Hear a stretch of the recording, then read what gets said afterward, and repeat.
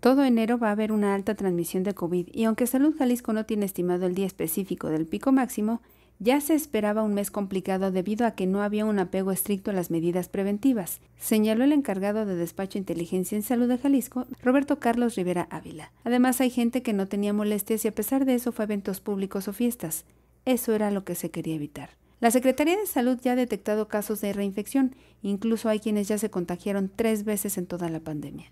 Sí, de reinfección sí, hemos tenido detecciones de casos, personas que se han eh, reportado infectadas dos o tres veces. Esto depende mucho, pues bueno, sabemos que la inmunidad que nos deja para X o Y enfermedad, eso no es nada más estricto con COVID. Claro que me puedo volver a enfermar y es lo que está pasando.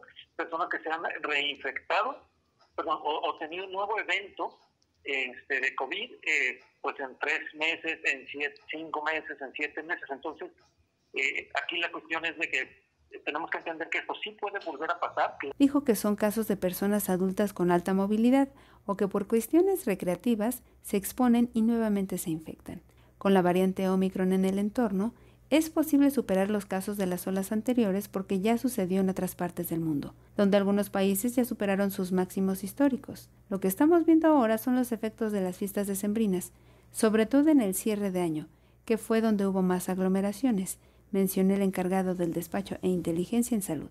Vimos que inició eh, un pequeño repunte muy, muy leve eh, a, mediados de diciembre y que pues, hubo algo de incremento de movilidad e incremento de reuniones.